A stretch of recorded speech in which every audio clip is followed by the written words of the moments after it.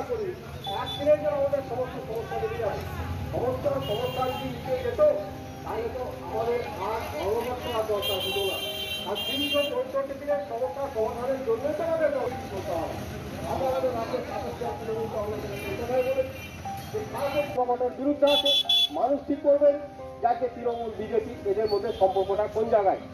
এই লড়াইয়ে আপনারা আছেন, আপনারা থাকবেন, এই লড়াইকে শক্তিশালী করবেন। শুধু আজকে ধর্মঘট না।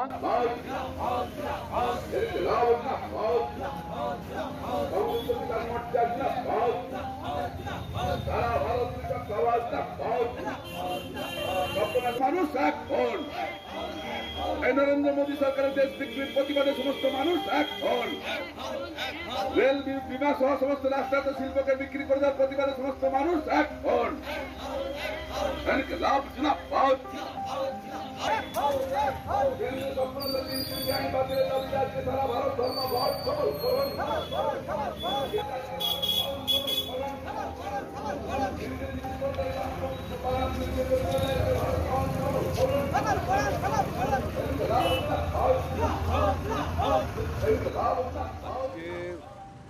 সারা ভারত বন্ধ সংযুক্ত কিষাণ মোর্চার আহ্বানে আপনারা জানেন।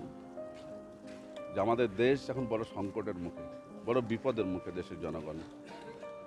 দশ মাসেরও বেশি সময় ধরে আমাদের কৃষকরা, আমাদের দেশের কৃষক সমাজ, যারা বন্ধা মাটিকে থেকে ফসল ফলিয়ে মানুষের মুখে অন্ন তুলে দেয়, খাবার তুলে দেয়, তারা রাস্তায় রয়েছেন। কারণ কি? একটা দুটো নয়, পাঁচশোরও বেশি সংগঠন, কিষাণ মোর্চা তারা দশ মাস ধরে শীত, গ্রীষ্ম, বর্ষা সবকে উপেক্ষা করে লড়াইয়ের ময়দানে রাস্তায়। কারণ কেন্দ্রের নরেন্দ্র মোদী সরকার যে নয়া কৃষি আইন জোর করে পাশ করিয়েছে, কোনো রকম কৃষক প্রতিনিধিদের সঙ্গে আলোচনা না করে, এমনকি পার্লামেন্টেও পার্লামেন্টেও কোনো রকম আলোচনা না করে জোরপূর্বক ক্ষমতার বলে আইন পাশ করিয়েছে। যে আইনটা কৃষক সমাজের সর্বশান্ত করার জন্য, যে আইনটা কৃষি ব্যবস্থাটাকে কর্পোরেট হাতে তুলে দেওয়ার জন্য, আদানি আম্বানিদের দালালি করবার জন্য এবং সর্বোপরি এটা যদি কার্যকরী হতে শুরু করে, তাহলে দেশের কৃষক এবং দেশের কৃষি ব্যবস্থা ভেঙে পড়বে। আমাদের আতঙ্কের বিষয়। এখানে কৃষক ফসলের দাম পাবে না। অত্যাবশ্যকীয় পণ্য আইন যা ছিল তা তুলে দেওয়া হয়েছে। নানান যে সমস্যা তৈরি হবে, সেই সঙ্গে সঙ্গে বিদ্যুৎ বিল দু হাজার কুড়ি, যেখানে বিদ্যুৎ উৎপাদন করা বন্ধ করে দেবে দেশের সরকার। আজকে দেশের সমস্ত সম্পদ, জনগণের সম্পদ, রাষ্ট্রায়ত্ত সমস্ত কলকার কারখানা ব্যাংক, রেল থেকে শুরু করে সমস্ত বিমা সবকে বিক্রি করে দেওয়া হচ্ছে জলের দরে। এবং আদানি আম্বানিদের কাছে জলের দরে বিক্রি করে দেওয়া হচ্ছে। কি হবে? দেশের যদি আজকে রাষ্ট্রায়ত্ত শিল্প কলকারখানা যদি বিক্রি হয়ে যায়, যদি নতুন শিল্প কলকারখানা না হয়, তাহলে ছেলেমেয়েরা যারা পড়াশোনা করছে, দু চোখে স্বপ্ন দেখে যে পড়াশোনা শেষে সে অন্তত একটা চাকরি পেতে পারে সরকারিভাবে, সে তো বন্ধ হয়ে যাবে রাস্তা। কিছু কি হবে তাহলে পরে?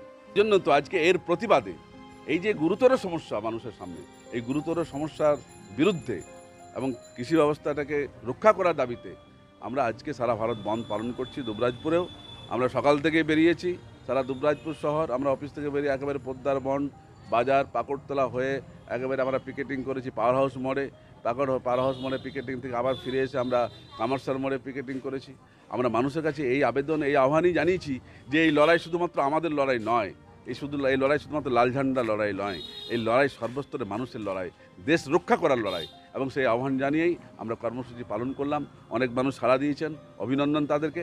আজকে যারা ভারত বন্ধকে সফল করতে সহযোগিতা করছেন সর্বস্তরের মানুষকে আমরাও আমাদের সংযুক্ত কিষাণ মোর্চার পক্ষ থেকে আমরা অভিনন্দন জানাচ্ছি। এবং আগামী দিনে আরও দীর্ঘ যে লড়াই হবে সেই লড়াইও সমস্ত স্তরের মানুষকে আমরা পাবো, এই প্রত্যাশায় আমরা রাখছি।